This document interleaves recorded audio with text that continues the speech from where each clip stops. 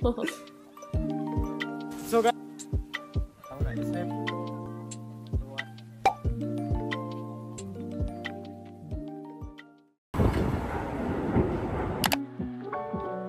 Right, you guys know what the drill is. We're going out. By the way, welcome back to another video. So yeah, um, not an event per se, but I'm a huge, huge fan of the movie Coraline. So yeah, and I've, it's one of my all-time favorites. It's my comfort movie. So when I heard that there's something like about Coraline happening in London, the first thing that popped in my head was get the tickets and go. Now, bear in mind, I've known about this place for a while, but I've just had, I've been lazy, or I would have something else planned, or like I'd have something going on. Mostly it was excuses, and I wouldn't go. But new me, new uh, style of uploading and whatnot has started. So I'm actually going right now. Uh, I had a moment of uh, reconsideration when we went in the morning because I just woke up and it was really, really warm in my bed and I don't want to get up. So yeah, um, but I'm heading to the station right now and I'll see you guys once we are there. And if you want to check this out, I will explain every single thing about the place and I will also give you a bit backstory about Coraline as well because, hey, why not? But yeah, let's get to BFI South Bank because that's where the um, thing is being held in the showcase. And yeah, see you guys once I'm there.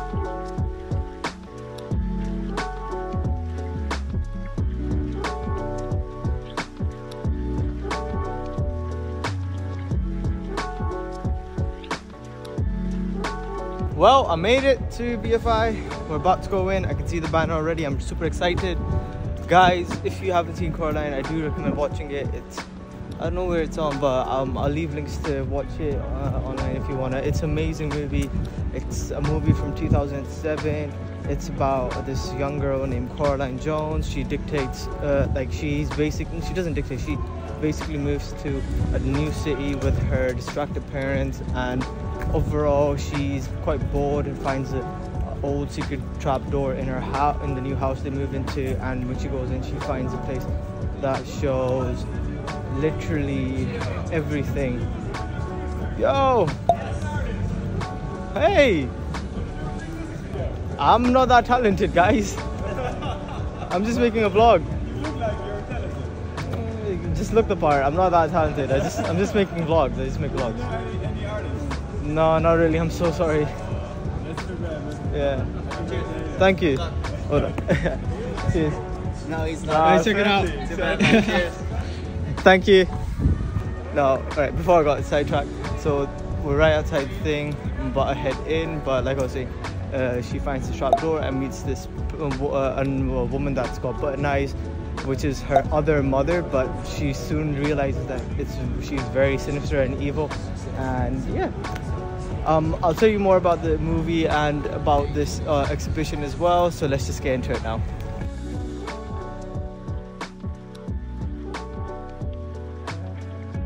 So I took my jacket off, it's really hot, but I'm inside the, thing, but I don't know where I'm supposed to go for the Coraline stuff, so still gotta look around. I'm kinda lost to be honest with you people. Not kinda completely lost. Ah, I see a counter. Maybe maybe I can find something out now. Okay, so I found it. I'm heading up to the exhibition right now. Guys, I'm so excited because Coraline is, like I said before, one of my top favorites. So, you know, let's see how this goes. Ah, wish me luck, people. I'm very excited.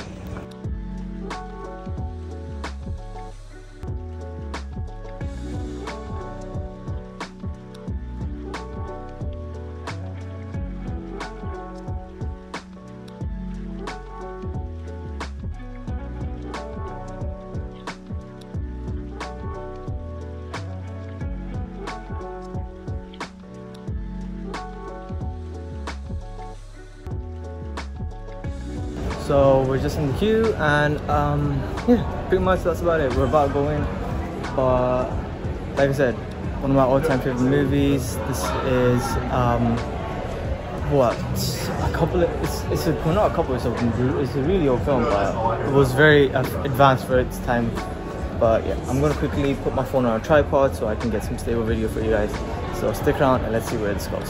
So while we're waiting in the queue let me just tell you a bit about the movie so this was this movie came out in 2007 it's um a, it's not like action. It's i forgot the exact word. Like it, a stop uh, stop motion movie.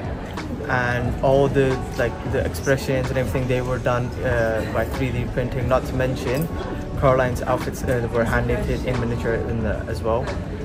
And this exhibition basically has a lot of the original sets, a bit of behind the scenes, and the, uh, and a lot of like the memorabilia from it. And it's from the same studios that made Nightmare, uh, the Nightmare Before. Oh, I forgot the movie's name. It was Nightmare Before Christmas and uh, James and Giant Peach, and a bunch more. So yeah, I'm gonna stop annoying you guys and wait until we go and get inside.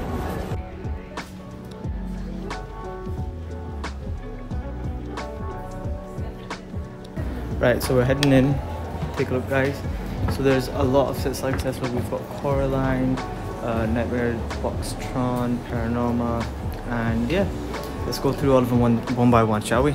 So here we've got Coraline's other bedroom. This is after she goes into the trapdoor and finds the new house with everything she wants. But it looks amazing. This is the actual sets that they were used. And fun fact, this movie actually took about four years to produce, by the way. So props to these guys for not giving up. Let's go on.